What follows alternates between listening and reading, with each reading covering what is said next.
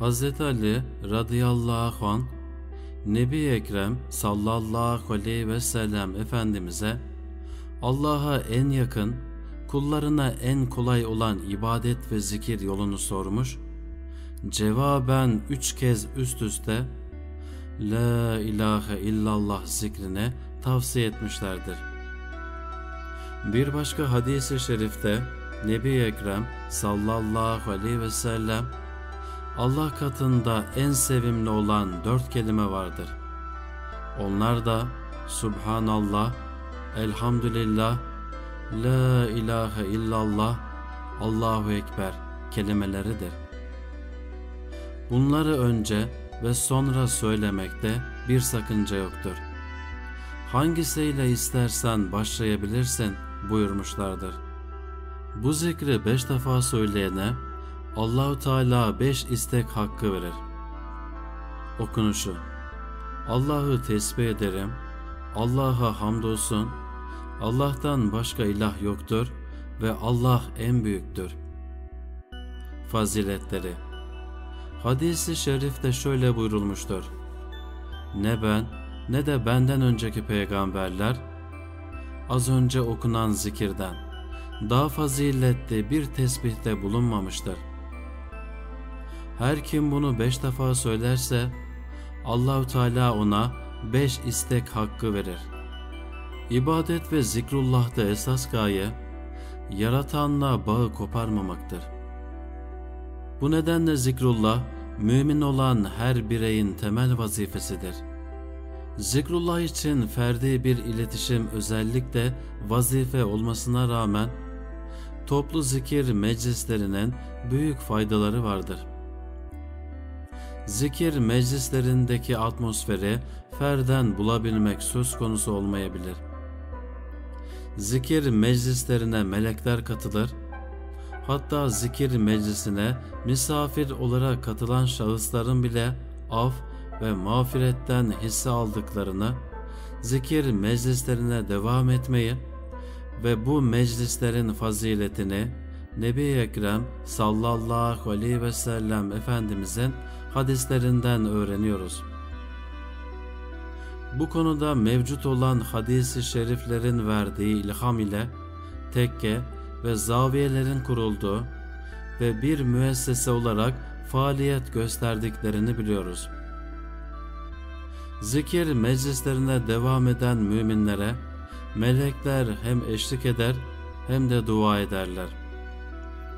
Allahu Teala Kur'an-ı Kerim'de buyurdu ki: Rablerine sırf onun rızasına ve cemaline kavuşmayı umdukları için sabah akşam yalvaranlarla beraber olmakta sebat et. Kehf suresi. Ayeti kerimesi bu konu için delildir. Nebi Ekrem sallallahu aleyhi ve sellem şöyle buyurmuşlardır. Allah'ın zikredenleri araştıran melekleri vardır. Zikrullah ile meşgul bir topluluğa rast geldiklerinde diğer melekleri çağırırlar. Hepsi gelip onları kanatlarıyla kuşatarak dünya ile sema arasına doldururlar. Allahu Teala meleklerine sorar. Kullarım ne diyor? Seni tesbih ediyorlar, sana tekbir getiriyorlar, senin yüceliğini dile getiriyorlar. Allahu Teala meleklerine sormaya devam eder. Onlar beni gördüler mi? Hayır derler. Ya görseler de ne yaparlardı? Eğer seni görseler de ibadette çok daha ileri giderler, çok daha fazla övgü ve tesbihatta bulunurlardı. Allahu Teala sorar. Onlar ne istiyorlar? Senden cenneti istiyorlar. Cenneti gördüler mi? Hayır. Ey Rabbimiz derler. Ya görseler de ne yaparlardı? Cennet için daha çok hırs gösterirler. Cenneti ısrarla isterler. Ona daha çok rağbet gösterirlerdi. Allahu Teala sormaya devam ediyor. Neden korkup sığınıyorlar? Cehennemden korkup sana sığınıyorlar. Cehennemi gördüler mi? Hayır, Rabbimiz görmediler. Görselerdi ne yaparlardı? Şiddetle kaçarlar ve daha şiddetli korkarlardı. Bunun üzerine Cenab-ı Allah sizi şahit tutuyorum. Onları affettim. Onlardan bir melek der ki bunların arasında falanca günahkar dahi var. Bu şahıs zikir ehli değil. O başka maksatla uğramıştı, oturuverdi. Allahu Teala onu affetti. Zikir ehli öyle bir topluluk ki onlarla oturan da kurtuluşa ermiştir.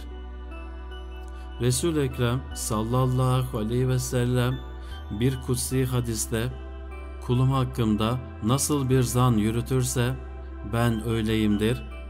O beni zikredince ben onunla beraberim. O beni içinden geçirirse ben de onu içimden geçiririm.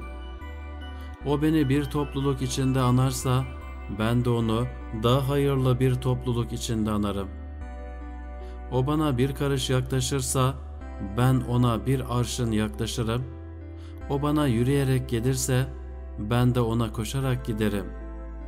Diğer hadisi şeriflerinde içerisinde Allah'ın zikredildiği evler ile zikredilmeyenler arasındaki fark diri ile ölü arasındaki fark gibidir. Kul kendisini Allah'ın azabından kurtaracak zikrullah'tan daha önemli bir amel işlememiştir buyurmuşlardır. Mekanların şerefi o yerlerde yaşayan insan ile yükselir. Gerçek ilim ve zikir meclisleri gönüllere şifadır.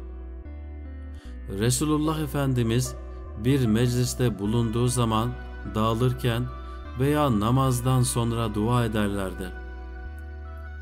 Hz. Ayşe radıyallahu anhaya yapılan bu duanın ne olduğu sorulduğunda cevaben eğer bir kimse bir toplumda iyi şeyler konuşmuş ise bu dua sebebiyle kıyamete kadar sevap kazanır.